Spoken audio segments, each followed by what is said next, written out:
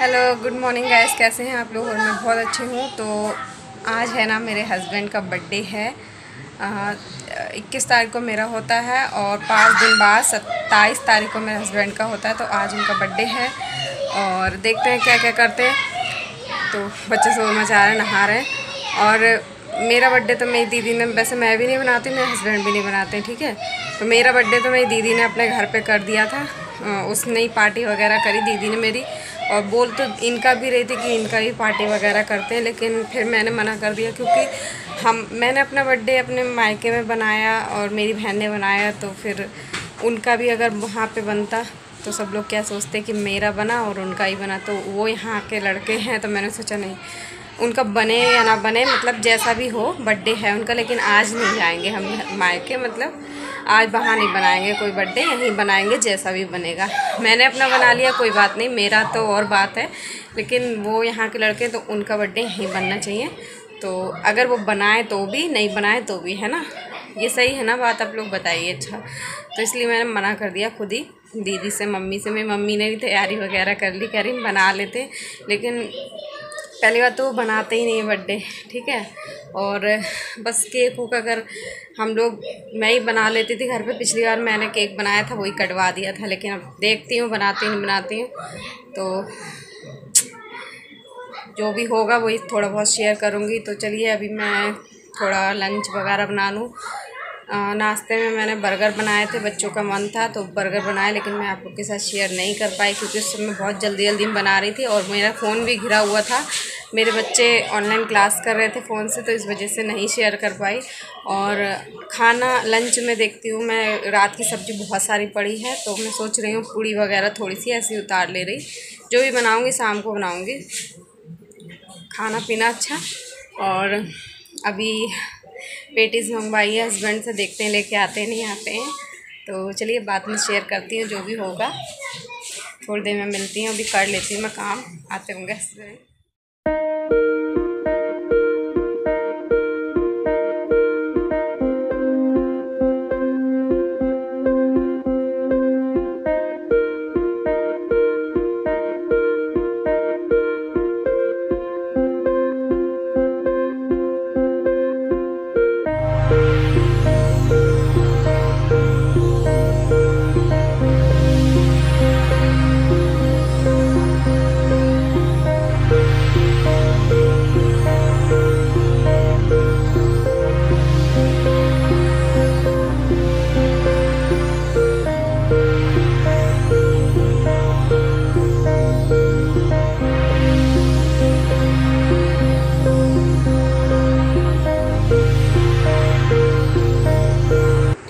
देखिए शाम को हम पार्टी कर रहे हैं इससे तो हमने दो पिज्ज़े मंगाए थे और कोल्ड ड्रिंक मंगाई थी।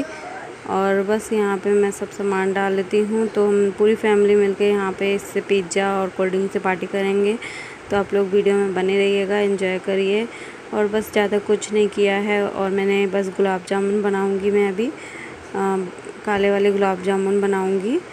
तो केक वगैरह तो मंगा नहीं पाए थे क्योंकि हस्बैंड भी दिन भर आए नहीं थे, उनका बर्थडे था और वो ही घर पे नहीं आ पाए। शाम को आए हैं बिल्कुल तो फिर केक वगैरह नहीं आ पाया। हाँ दिन में आए थे, थोड़ी देर के लिए आए थे बट चले गए फिर ड्यूटी तो यहाँ पे देखिए मैंने थोड़ा सा ये सजावट कर रही हूँ, यहाँ पे क्या क्या तो ये डाल देती हूँ और सबको मैं पिज़्ज़ा और कोल्ड ड्रिंक की पार्टी दे रही हूँ अपनी तरफ़ से। और आप लोग भी आ जाइए, खा लीजिए, मैं भी खा लेती हूँ। और यहाँ पे देखिए, सबको देने के बाद मैं खाने लगी थी और बाबू सो रहा था यहाँ पर। और पिज़्ज़ा तो मेरा बहुत फेवरेट है, मुझे बहुत पसंद है, बहुत ज़्यादा। और पिज़्ज़ा का कुछ सामान भी लेके आई थी मैं घर में बनाने के लिए, बट अभी मैंने सोचा अभी घर पे नहीं बनाऊँगी, सबके लिए बाहर से, क्योंकि मेरे पास मैदा भी नहीं था तो मैंने सोचा चलो बाद में अभी मंगा लेते हैं, बाद में फिर कभी घर पे बनाएँगे खाने के लिए। और जब भी बनाऊँगी ना आप लोगों से शेयर करूँगी मैं पिज़्ज़ा कि मैं कैसे बना रही हूँ। तो चलिए, अभी मैं गुलाब जामुन बना लेती हूँ ये खा के और हस्बैंड आएँगे रात में। देखिए।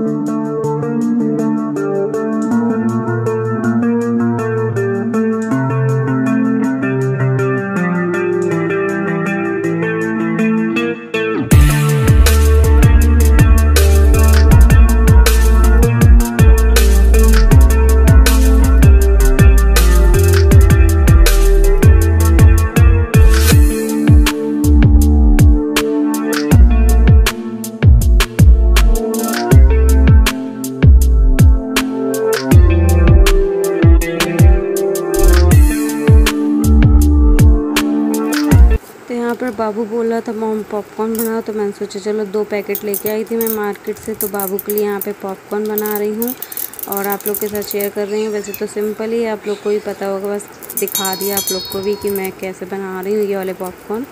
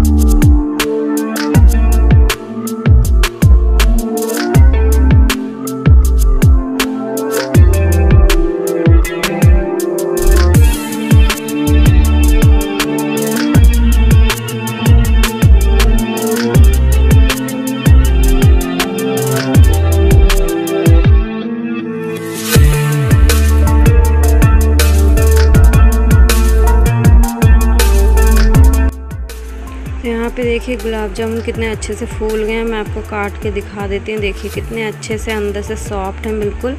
और बहुत अच्छे बने हैं गुलाब जामुन जी, देखिए। और मैंने ना मीठा थोड़ा कम बनाया, क्योंकि मुझे ना मीठा बहुत बहुत ज़्यादा मीठा हो जाता है ना तो मुझे बिल्कुल पसंद नहीं रहता है। इसलिए मैंने मीठा कम बनाया है और मीठा मतलब नॉर्मल बनाया है तो ये देखिए कितना सॉफ्ट है। और यहाँ पे देखिए मैं दूध फट गया था ना तो मैंने सोचा ये दूध फट गया तो इससे मैं क्या करूँ क्या करूँ? फिर मैंने आ, ये फटे हुए दूध से मैं बना रही हूँ वाइट वाले गुलाब जामुन। तो बस ये तो नेक्स्ट डे बना रही हूँ मॉर्निंग में तो ये देख सकते हैं। और ये बॉल में एक एक करके इसलिए डालें इसमें खोले रुकने नहीं चाहिए जब एक एक करके ही डालना पड़ता है वरना खोले रुकना बंद नहीं होना चाहिए। तो देखिए मैंने सारे डाल दिए बॉल तो खाना खा लेते हैं हम लोग अभी देखिए चलो बैठो, खाना खाए। बाबू को खिलाते हैं खाना। मैं तो ऐसे ही खाऊँगी क्योंकि मुझे चम्मच से खाना, चम्मच से कितना भी खा लूँ, पेट नहीं भरता है और मशीन लगा के आए, कपड़े धुल रही हूँ। तो खा लेते हैं हाँ बाबू?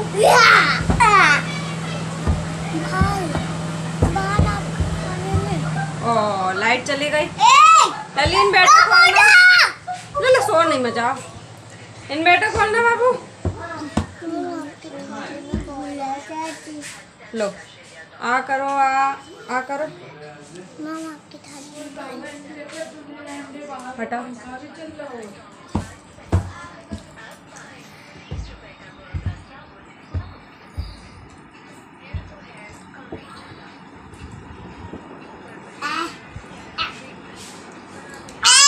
अरे। पानी। इतने समय में चलक गई। एक बहुत हल्का हमने बनाया है, लोग।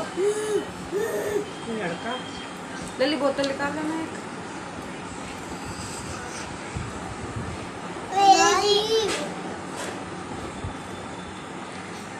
हमने बनाए वाइट वाले रसगुल्ले, दूध फट गया था। उससे अभी दिखाएँगे कैसे बनाए है ना? चलो, खा लेते हैं पहले खाना।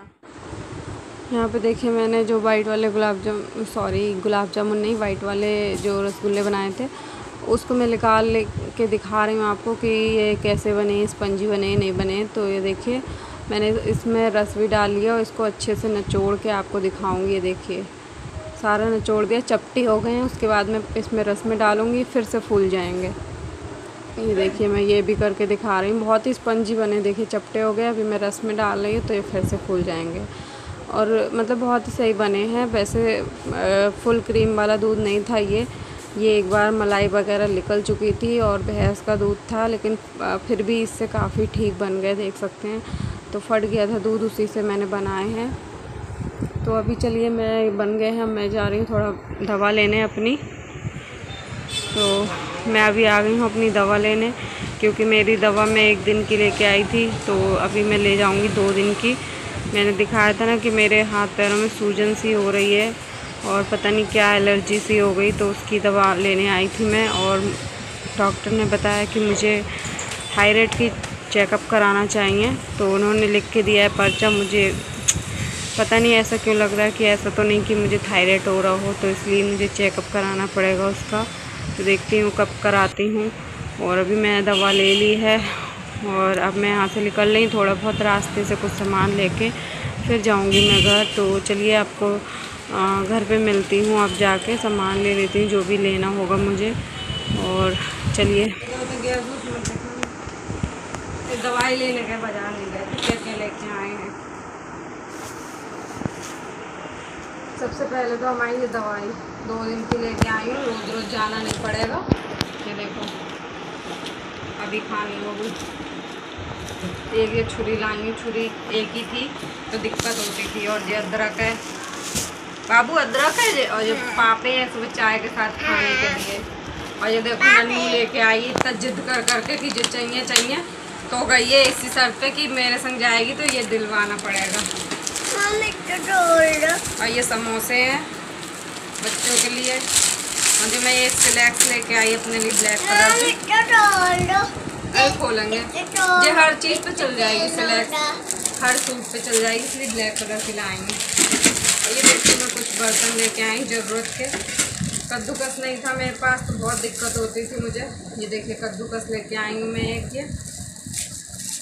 और चावल बनाने के लिए छोटा सा भगोना लेके आई हूँ चावल हमेशा स्टील के बर्तन में जल जाते थे तो इसमें बनाऊँगी चावल इसलिए लेके आई थी। और ये लेके आएँगे सब्ज़ी या पोहा वगैरह धुलने के लिए। और, और मैक्रोनी। हाँ ये टोटल है ये। तीन सौ बीस रुपये का ये सामान है ये टोटल इतना सामान लेके आई हूँ बस। हाँ और ये नमकीन दस रुपये की और पाँच रुपये की। पंद्रह। पंद्रह रुपये की हाँ।